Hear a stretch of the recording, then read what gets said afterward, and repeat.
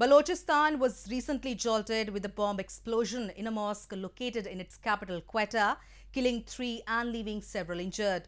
The bomb blast ripped through a pulpit inside the mosque where more than 100 people were present to offer prayers.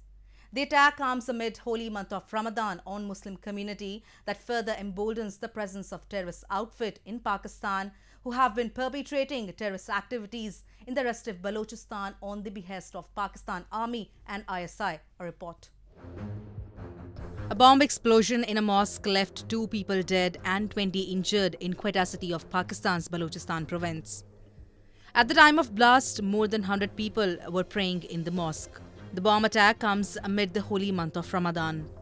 A cleric and children are among those killed in the deadly blast.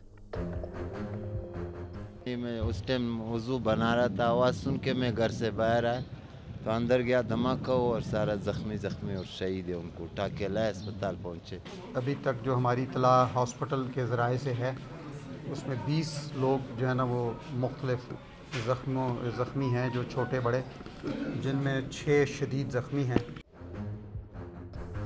A number of deadly attacks have been reported in Balochistan province in recent months.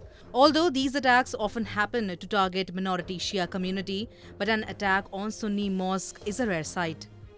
The instability in the province is only due to suppressive methods used by the Pakistani establishment.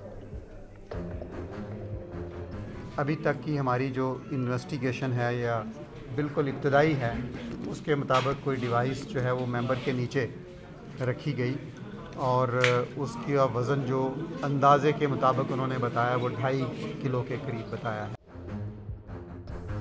Pakistan has provided safe shelter for terrorists on its soil for decades, but now it is facing the consequences of it. It has used terrorism to disrupt peace in the neighboring countries like India and Afghanistan.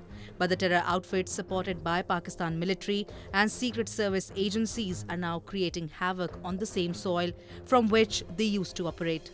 If Pakistan still doesn't take action on them despite international condemnation, then in future they may have to suffer from a situation they themselves don't know how to deal with.